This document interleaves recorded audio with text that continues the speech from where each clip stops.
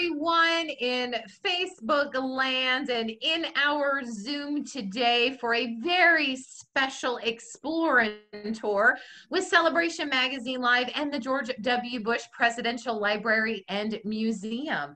I need to introduce to you Mr. Steve Iler. Steve has been a volunteer, a docent, team leader, and content trainer at the George W. Bush Library and Museum for more than four years. Prior to his retirement in 2012, he was president of casualty claims for an international insurance company in New York City and a frequent industry speaker. Steve and his wife, Anne, have two children, a son and a daughter, and three grandchildren. So, without further ado, Steve, take it away. We are so excited for our presentation from the George W. Bush Presidential Library and Museum. Thank you so much, Zoe. Um, and welcome and thanks to all of you who are with us today. I guess when we first started talking about this presentation, oh, several months ago, I was still hopeful that we could have presented it on site. But as we all know, times are different and um, we have to improvise. So it's my hope that this brief tour today will encourage you to visit in person when, once the museum does reopen. I will say this is the first virtual tour that we've ever done to my knowledge of the Bush Library. So let's consider ourselves all trailblazers today. So a little bit of background, located on the campus of Southern Methodist University in Dallas, the George W. Bush Presidential Center Library and Museum serves as a resource for the study of the life and career of George W. Bush, while also promoting a better understanding of the presidency, American history, and important issues of public policy. And we'll talk about that as we go through the presentation. The library is the 13th presidential library administered by the National Archives and Records Administration. We know it by NARA, and that's a US federal agency. So uh, before we, we start, I would like to say that I am happy to take questions along the way. I ask that you sort of go easy. I've not been in the museum since March 8th, and um, sometimes we can forget a few things, but I'll do my best. And um, but it's still possible that you could stump me with a question, but we'll see what we can do. So let's go to uh, slide one if we could, Zoe. Okay, the first gallery in the museum is titled A Charge to Keep. Upon entering the museum, you'll get a flavor for the way that President Bush approached his responsibilities in both his president, presidency and his personal life. The top quote is taken directly from his first inaugural address and states, We are bound by ideals that move us beyond our backgrounds, lift us above our interests, and teach us what it means to be citizens. The quote below that is taken from President Bush's address to the Republican National Convention in 2000 when he was a candidate for the presidency. And he stated, the presidency is more than an honor, it is more than an office, it is a charge to keep, and I will give it my all. And you'll see that theme, a charge to keep, throughout the museum. Let's go to slide two if we could, please. This gallery serves as our introduction to the museum with the presentation of Bush family history and President Bush's service from Texas to the presidency. In this area, our visitors are immediately aware of the spirit of Texas, the strength of family, the power of faith, and the call to service. And next. Here we present President Bush's principles or his key themes. The president has 12 such principles, and I'll read them because this may not be clear to, to a lot of you, as you see. Um, the first one, every child can learn. Free enterprise is the engine of prosperity. You can spend your money better than government can. Freedom is universal. Free people will set the course of history. To whom much is given, much is required. Results matter. Serve a purpose larger than yourself. We have a moral obligation to relieve suffering. Fighting disease abroad makes us safer at home. Every life is precious, and the best hope for peace is the expansion of freedom. You'll find that in each of our galleries, one or more of these principles apply to the direction and decisions of President Bush in his personal life and in his presidency. Next slide, please. The gallery also chronicles George Bush's road to the presidency. You'll recall that this election was not without its challenges and controversy. The election of 2000 came down to the state of Florida, highly contested with recounts, flawed ballot, ballots. I think we all remember the new term hanging chads, and ultimately intervention from the Supreme Court to resolve the conflicts. Within this area of um, the museum, we also feature our Charge to Keep theater, which I'm excited for you all to see once you're able to get into the museum after it reopens. It's a great, about 15 minute video and um, narrated by um, George and Laura Bush and others within his, um, within his presidency. Okay, next area. Um, the next area following the introduction is called Empowering Americans. President Bush optimistically began his presidency with a domestic agenda designed to improve the quality of life for all Americans. His education reform was designed to hold schools responsible for ensuring students were learning the skills that they needed to reach high school. President Bush believed tax cuts would stimulate the economy by allowing the public to choose how they would spend their money. And lastly, the faith-based and community initiative was designed to encourage nonprofits and faith-based community initiative was uh, faith-based organizations to stand in the gap and provide the needed services that the federal government could not legally provide to citizens. Area two touches on four of the 12 guiding principles, and they are every child can learn, free enterprise is the engine of prosperity, you can spend your money better than the government can, results matter. Let me draw your attention, it's a, a little bit difficult to see, but beyond the yellow school bus, there's a kiosk there and it houses about, if I'm not, uh, if I remember correctly, about 50 to 55 baseballs. President Bush's collection of baseballs is amazing. This is just a small sample. It's fun to look at some of the names. Um, a lot of legends um, have signed those, those baseballs. And the next slide, please. So as the president and the first lady rolled out their domestic agenda vision for our country, this was a time of great optimism. It was during these months post-election that we learned about No Child Left Behind, Mrs. Bush's National Book Festival, and you can see those, um, those posters uh, on the left. Tax relief strategies designed to expand individual freedom while stimulating the economy. And in early September of 2001, the President and First Lady hosted their first state dinner with President and Mrs. Vicente Fox of Mexico. Featured in this exhibit is the dress that was worn by Laura Bush. It was designed by couturier Arnold Scaasi. It features the vivid colors of red and hot pink and evokes the vibrancy and colors of Mexico. It's very difficult to see, but underneath the lace top of that dress is lined with, uh, with the hot pink color. And it's absolutely beautiful when you see it in, in person. Okay, let's move on to the next gallery. So a few days after the state dinner, our country experienced a day of fire.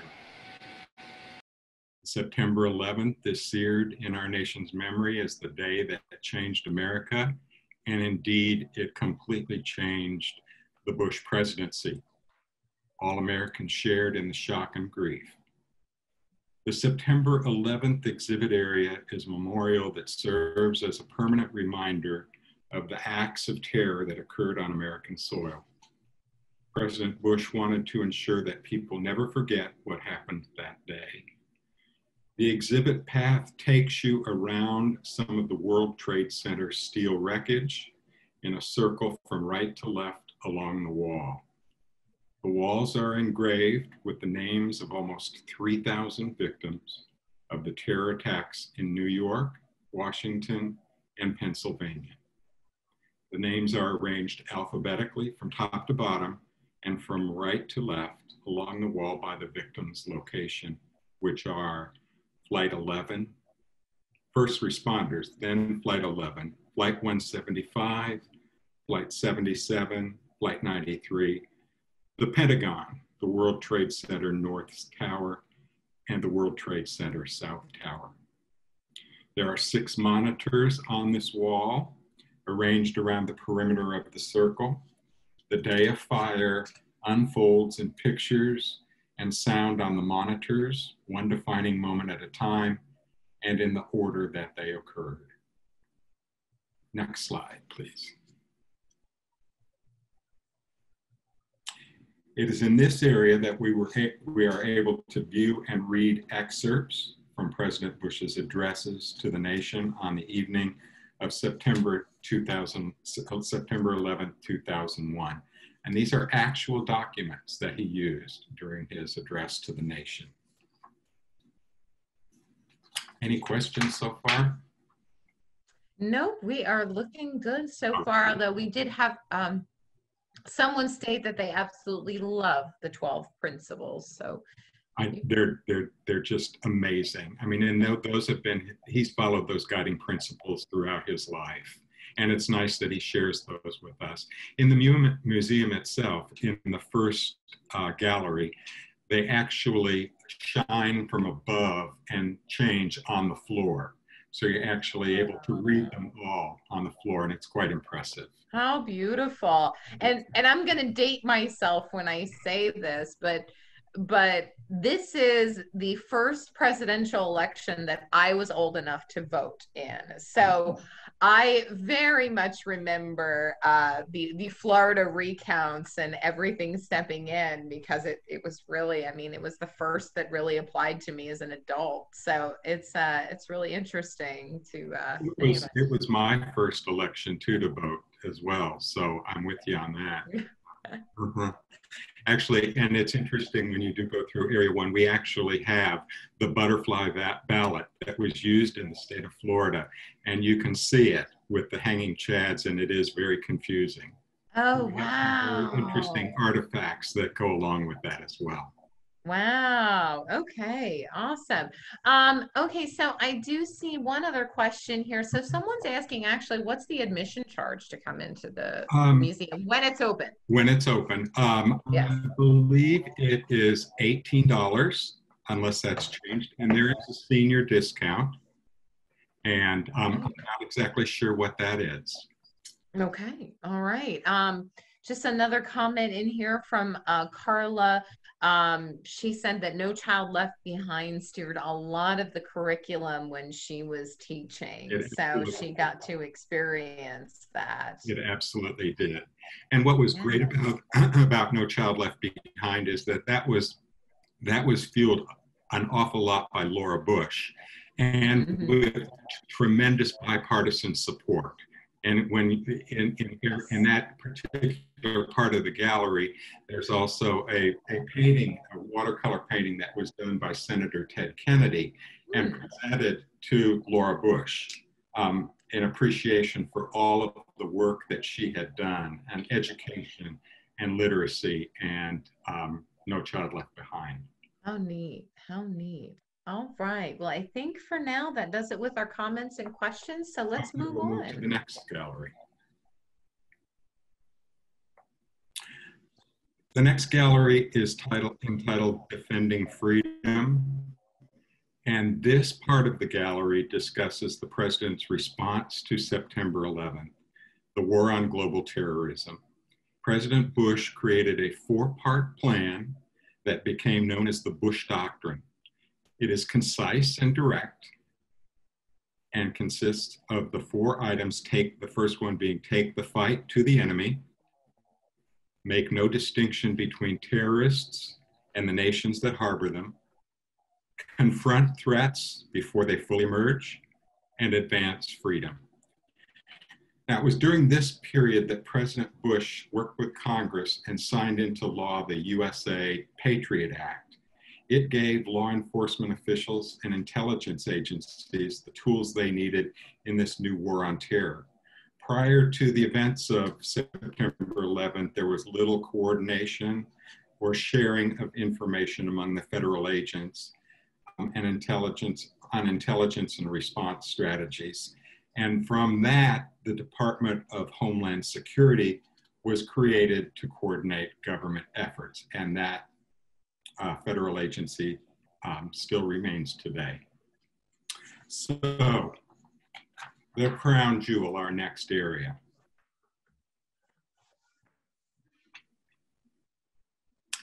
The Oval Office.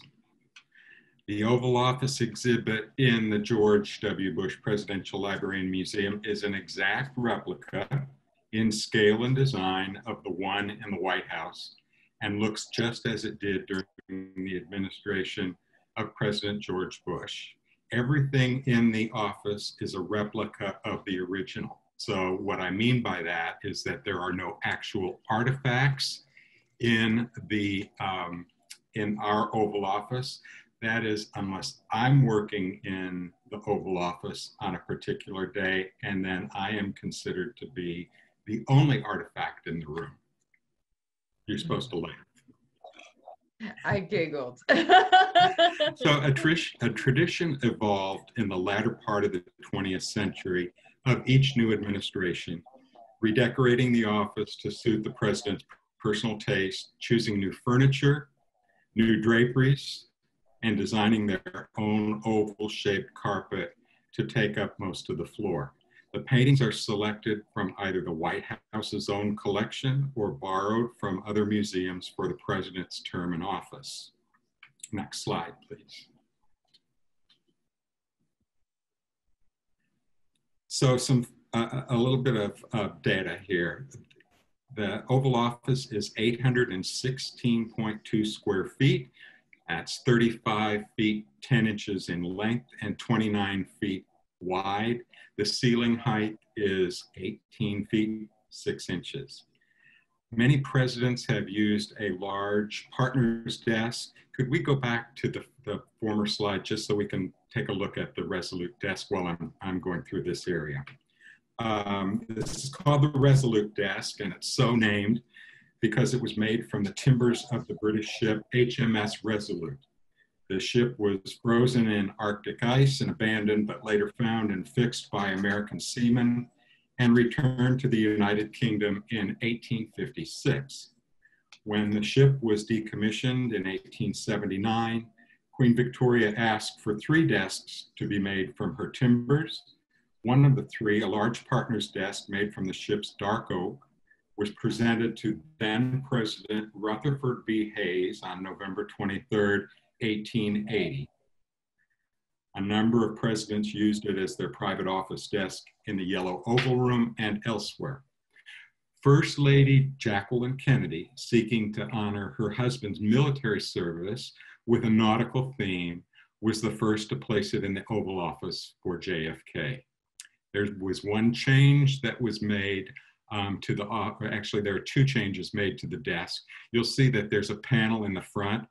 And when it, when it was uh, received, it was a partner, so it was open on both ends. Um, FDR had that modesty panel placed in that space on the, the front side because he was in a wheelchair and didn't want people to see him um, sitting in the wheelchair.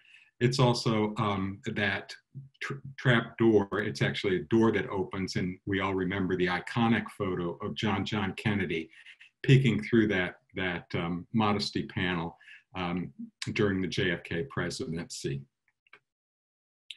Following the 1963 assassination of President Kennedy, the Resolute Desk actually toured the country as part of a traveling exhibit for the Kennedy Library.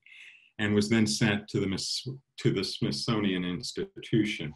President Carter returned the desk to the Oval Office in the 1970s, and since then, Presidents Reagan, Clinton, George W. Bush, Obama, and Trump have used it as their Oval Office desk. The Resolute is one of six desks ever used in the Oval Office. Okay, we could go back to the next slide. So, okay. President Bush had a pale gold rug with its signature rays shooting out from the presidential seal, and he often remarked that the rug reflected his optimism about America as it reminded him of the rays of the sun. The presidential seal is surrounded by a ring of olive branches, alternating, of course, with the Lone Star of Texas. The rug measures 30 feet 5 inches by 23 feet 5 inches and is similar in design to the rug that President Ronald Reagan had designed for his Oval Office. This beautiful carpet was designed by Laura Bush and Ford, Fort Worth designer Ken Blasingame.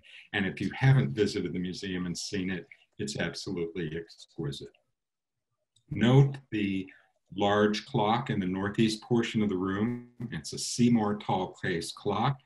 The case of this clock, a form frequently made in New England, is an important example of the superb craftsmanship of father and son cabinet makers John and Thomas Seymour of Boston, and it was crafted sometime between the years 1795 and 1805. It's made of mahogany, crotch, birch, and satinwood veneers. And the eight foot, 10 inch case also features a double lunette inlay, which is a little difficult to see. And that was a sophisticated Seymour ornament. Although its dial is unmarked, the movement may have been made by James Doull of Charlestown, Massachusetts, whose name appears on, the clock, on clocks with similar Seymour cases. This piece was acquired in 1972 and has stood in the Oval Office since 1975. It is truly one of the most beautiful clocks in the White House collection. Most recent presidents have hung a portrait of George Washington over the mantel on the north end of the room. This portrait is by Rembrandt Peale, and it's called a porthole portrait due to its design, which is obvious. It was painted about 1823.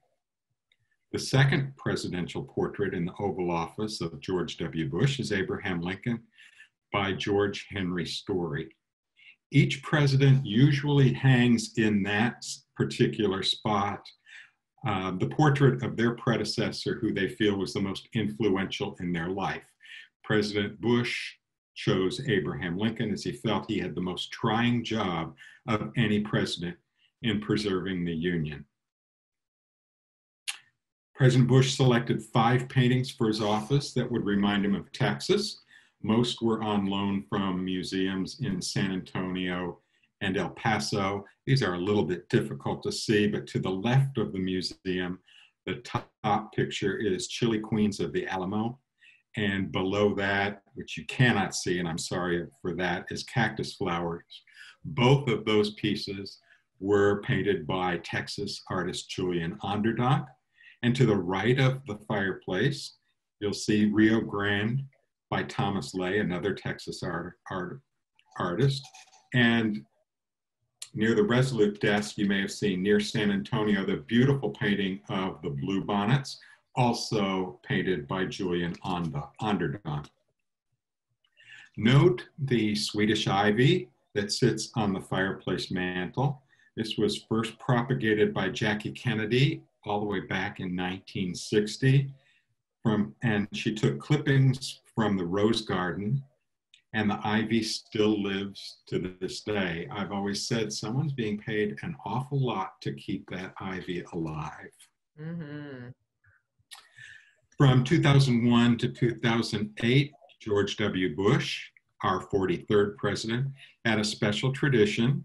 We often get the question Does the fireplace work in the Oval Office? And indeed it does. And when the temperature dropped to 43 degrees outside, the staff would set a fire in the Oval Office fireplace, whether the president was there or not. And then located through the double doors On the right, um, in the museum Oval Office, the Texas Rose Garden pays homage to the White House Rose Garden, the setting for many presidential remarks and ceremonies. Both the Texas Oval Office and the Rose Garden have the same southwest sun exposure as the originals in the White House.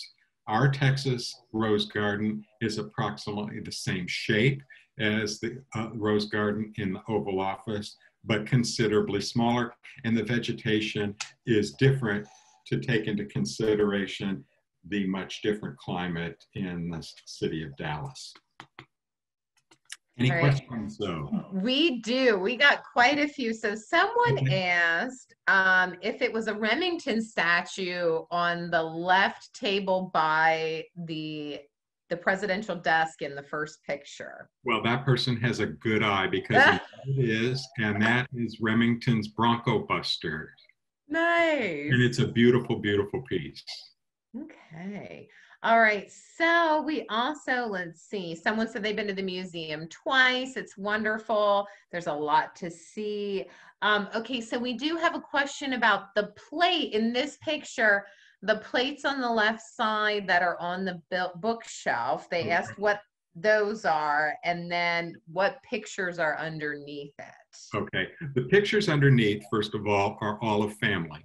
Aww. And on the on the table, the console table behind the Resolute desk, you'll also see a, a number of, photo, of, photographs, and those are all of um, the Bush family as well, including um, Miss Beasley and uh, Barney as well. Mm, Note the books. The books are um, are exact replicas of of books that are owned by President Bush and there are quite a few, and they're really interesting, most notably a complete set of the Lewis and Clark books. The plates and other porcelain pieces that are on the shelves are purely decorative, but they all have one thing in common. If you look closely at them when you visit, you'll see that every single piece of porcelain or china has the American eagle on it. Oh, very neat. Very neat. Okay. And then uh, someone asked if they burn wood in the fireplace or if it's gas fired. It, it is completely wood burning, yes. Oh, that's a great smell. All right. Um, let's see. Um, no, ours does not work in the museum. just for show. That's right. it's beautiful. Um, so Nancy Wilder said she's toured the museum a few years ago and that your narrative is providing more in-depth information than she's ever gotten. So she's loving it. Well, thank you. Um, There's so much history. Um, I mean, I could go on for hours about the history in the in the Oval Office. Mm-hmm. It's you know, unfortunately, we just can't cover it all in in the time that we have allotted. But they're yeah. incredible. It's incredible. So, so they did ask if the ivy at your museum is done from cuttings of the original ivy in Washington. Well, I'll let you in on a secret. Our ivy is artificial. All right. That's why it looks so good. there's, not, there's not a one of us that would be able to keep it alive, so it's best done this way. Now, the ivy is removed at um, during the holidays and it's replaced. Now it's still taken care of, but it's replaced by garland that's wrapped by the stars and stripes, and it's mm. huge and it's beautiful. And then uh, we uh, there was also a, a, there was also a Christmas tree in the in the Oval Office, so it's really spectacular during the holiday time. Mm, how nice!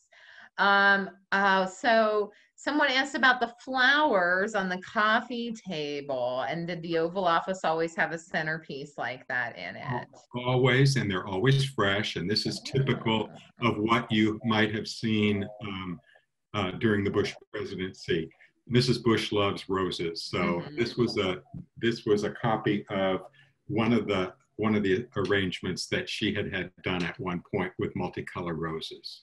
Very nice. Yeah, those are beautiful. I love the colors. Um, so um, Joe said um, that they've been to the museum and they've enjoyed it so much, but they're learning so much more now, which they really appreciate. Thank you. Um, Cynthia said that it's so much fun to have your picture taken at the Resolute desk.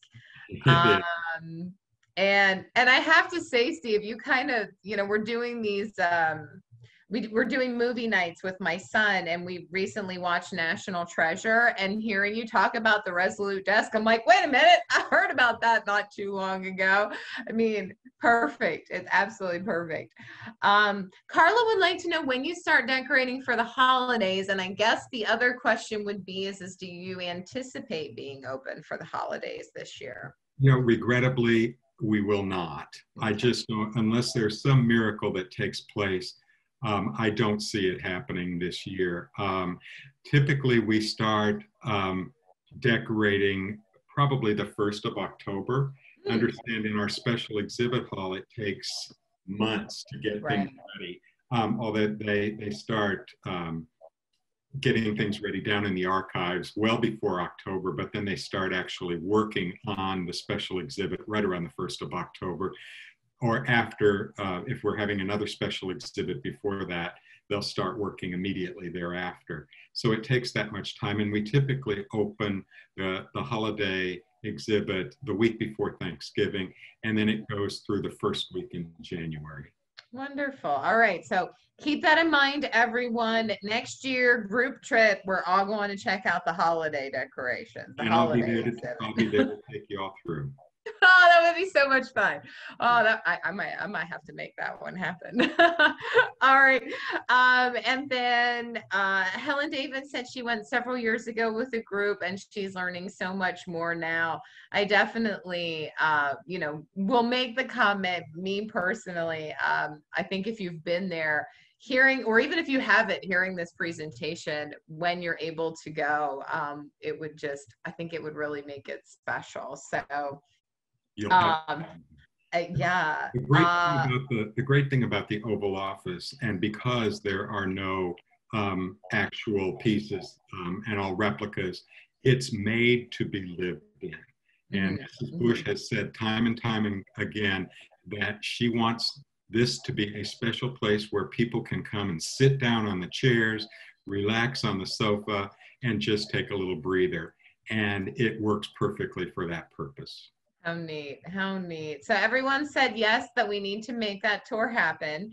Um, and you're adding a new layer that you they've never experienced. And also um, they asked if there's an audio tour that goes along with the exhibits if you come in for a tour. Actually, there is. And um, what you do is before you come um, to, to the museum, you would download from on your iPhone the GWB Center, and that will that will take you section by section through all of the galleries and explain in as much depth as you would like what you're seeing in each one of our galleries. Very, very neat. Okay. Um, we do have more to go through. So um, um, do a couple little things. Um, someone asked about the jewelry on display if Laura ever gets to wear any of it. Um, mm. and then Madon, now this is very interesting. He says it's a side note, but I think it's extremely important. Uh, Madon was the first person in line at the public opening of the library years ago he got there about six hours before opening time and waited in line. So that's really neat. What a tribute. Thank yeah. That's yes. True. How cool. All right. I think so uh, the, the, jewelry. jewelry. Let me just yes. briefly. We have um, cases in Free, Freedom Hall. So when you first enter the, the museum, the library, mm-hmm. you'll see along the walls these cases that, in, that have artifacts in them. These are gifts to the president and Mrs. Bush or other staff members during his presidency mm. from foreign dignitaries or special invited guests. And they're, they're geographically separated. So you'll see some from Russia, you'll see some from um, uh, the Far East, all over the globe. And um, this is just a sampling, what we show um, of the gifts and we change those around. I think in terms of jewelry, what probably is being discussed is um, there's a sapphire and diamond set, which mm-hmm. is more opulent than probably anything you've ever seen. It includes a necklace, a bracelet, a ring, and earrings. And it was gifted to Laura Bush um, from King Abdullah. Um, the, uh, um, the jewelry is there for everyone to enjoy. If you have ever had the pleasure to meet Laura Bush, you will know that that's not her style. Uh, but she is free to wear those items if she wants um, and take take them out. Um, any gift, and back in in the presidency years for George W. Bush, any gift given to them over three hundred and twenty-five dollars in value um, had to be surrendered. And mm. lucky for us because we get to see them in the museum. Very neat. Well, I, I think I'm a big jewelry fan. I think I would have been heartbroken if I'd have had to give stuff like that up. No. oh, all right. Well, I think um Barbara's right in line with me. She said, I remember a plaque that said the jewels belong to the people of the United States. When can I borrow them? Is what she said. I am right on line with her on that one. See, come see me, Barbara, and I'll see if I can wrap it up for you. That's great. All right, Steve. So let's uh, let's so continue on our journey. On the next slide, then. And just wanted to mention that the president and Mrs. Bush have always referred to the White House as the People's House. The Bush Oval Office was regularly used to welcome visiting dignitaries and people of all walks of life. It was not uncommon to see situations like this depicted here uh, mm. going on in the Oval Office. And here also you get a pretty good look at the Oval Office rug with the presidential seal. Yeah, that's a beautiful rug. It is absolutely stunning. And the blue bonnets on the left. Mm-hmm. Okay, next slide, please. This area, uh, right after the Oval Office, is titled Living in the White House. And this gallery divides the story into the multiple roles of the White House, including as a workplace, as a home, as a house of state, and as a museum. A White House, the home of the American president, is a national symbol, a museum, and an office where the president conducts official business. George and Laura Bush respect the history of the White House as well as its beauty and traditions, and they enjoyed sharing it with the American people.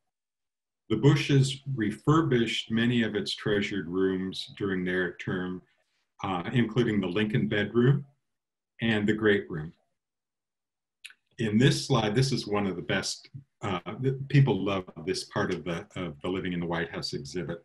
There's so much here, but in this slide, you'll see details of the state dinner in honor of Her Majesty Queen Elizabeth II and His Royal Highness Prince Philip. And that was held on May 7th of 2007. What's interesting is that this was the first white tie event that the President and Mrs. Bush had hosted. And what you see here is Mrs. Bush chose an ice blue embroidered gown, and it was designed by Oscar de la Renta, one of her favorites. When you come to the, the museum, you'll see a number of other gowns that were designed by Oscar de la Renta. Any questions there? Uh, not so far, just some comments that people have met Laura Bush and she is so sweet.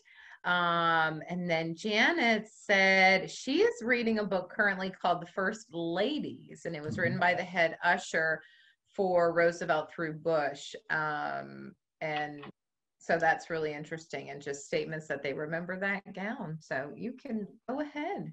It's it's a stunning piece of, uh, mm-hmm just incredible. When you look at it, you can't we can't see all of the the beadwork on the bolero top, but it's just it's just unbelievable. And indeed, Mrs. Bush is as charming as hmm. um, she appears. She's absolutely lovely lady. Okay, next area. This area is called Acting with Compassion.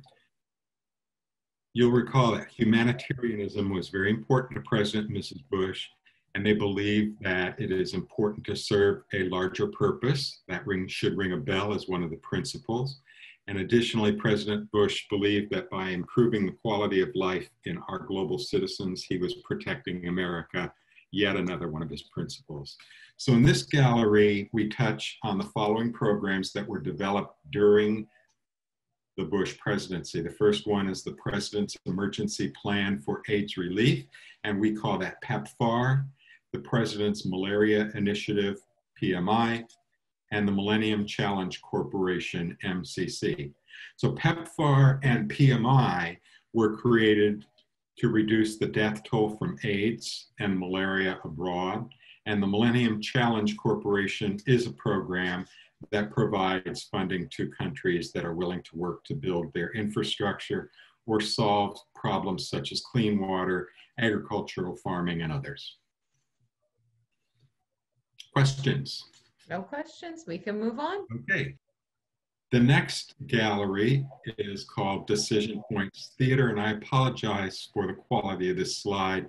That's actually a video screen that you're looking at, and so it's difficult to capture that in a still. But this exhibit actually provides a very different viewpoint of President Bush's administration. It's interactive and fun, and there's absolutely no stress involved in this, even though you're going to be making some decisions. There were certain events and decisions made during the Bush administration that were very controversial.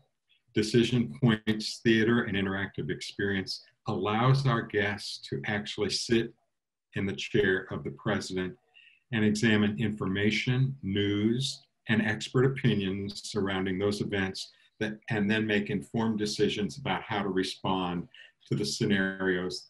And they include responding to the threat of Saddam Hussein, the surge or sending of troops into Middle Eastern countries, Hurricane Katrina, and the financial crisis of 2008. And you're asked to make a decision about what you would do had you been George W. Bush at that time. And then you get to see how the audience voted, and you get to see if you did the same thing or you selected the same decision that President Bush did. So it's a lot of fun.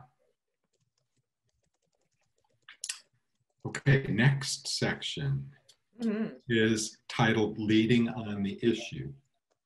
And this exhibit is separated into five sections volunteering, protecting the environment, separating powers, crisis management, and looking to the horizon.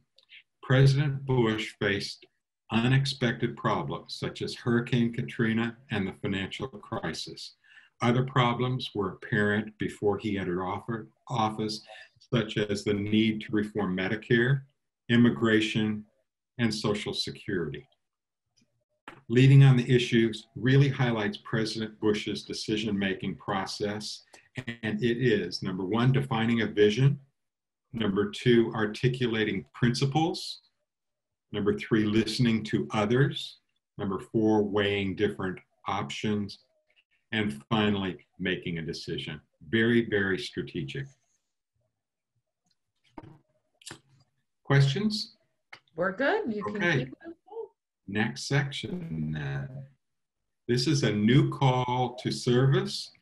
And in our final exhibit area, President Bush makes the transition from US president to US citizen. And I love this. You'll note down in the bottom, that actually appears on the floor where he steps from president over to American citizen. President and Mrs. Bush are still working on important issues through the George W. Bush Presidential Center, the Institute continues to work to advance freedom through education reform, improve global health, expand human freedom, and address economic growth. The Institute empowers women through its women's initiatives and honors the service of our U.S. servicemen and women through its military service initiative. And the next slide, please. So this concludes our virtual tour. I've attempted, I think, to provide what I consider to be the most important highlights in the museum. Understandably, it's impossible to include everything, and I assure you that when you are able to visit in person, you'll learn much, much more about the eight years of the Bush presidency. In addition to the permanent galleries, the museum regularly features special exhibits. Some of you may have attended those. The on-site archives house hundreds of thousands of artifacts, including, as I said, eight years of holiday decorations. And over the years, the special exhibit space has been converted each November to Christmas in the White House, where our guests are able to see the actual ornaments and other decorations featured from 2001 to through 2008. And as a little enticement, our next special exhibit will open the first week in March of 2021, and it will include, again, a number of paintings by George Bush of immigrants this time, and features their journeys to United States citizenship. I'm so happy to have been with you all today for this presentation, and I will look forward to welcoming all of you to our museum once it opens again. And if there are any other questions, I'll be happy to take those at this time. How are we doing on time? We we have a million people um, that are just beaming about how much they enjoyed the presentation. Oh, they said they learned so much. It was fun. They hope to visit. Um, they said if they come, they hope that you are their guide. I, I, do as well. Thank you so much for a wonderful tour, excellent presentation. So we do have a question of do the exhibits change or do the main ones stay the same? We refer to what we've gone through today as our permanent exhibit. Um, now, that's not to say that there are certain artifacts that will be changed from time to time. Um, the Oval Office never changes except at the holidays. As I mentioned, we put the tree up and the garland over the mantle. Um, but that's because we wanted to preserve how it actually looked during the Bush presidency. But some of the um, display cases throughout the museum, mm -hmm. sometimes we change um, some of the artifacts in there because we in in some of those areas particularly acting with compassion we have a number of pieces and artifacts that were presented to the president and mrs bush um, in appreciation for the work they did globally um, to advance freedom in those countries. And so there are a number of artifacts that are very interesting and and pertinent. And so we'll change some of those out as well Fantastic. Fantastic. Well, I, I got to say, everyone said thank you. Everyone, if you want to take yourselves off of mute, let's give Steve a round of applause and a whoop whoop and a let's let him hear our.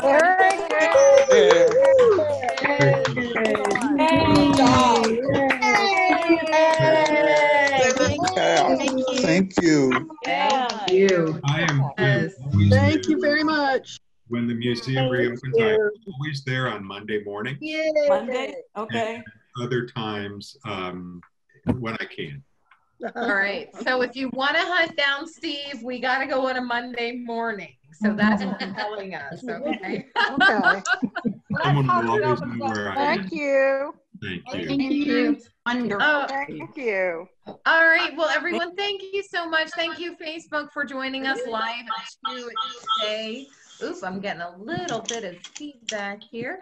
Um, thank you so much for joining us live today on Facebook. If you would like to join us on uh, live on Zoom, you can go to celebrationmagazine.com.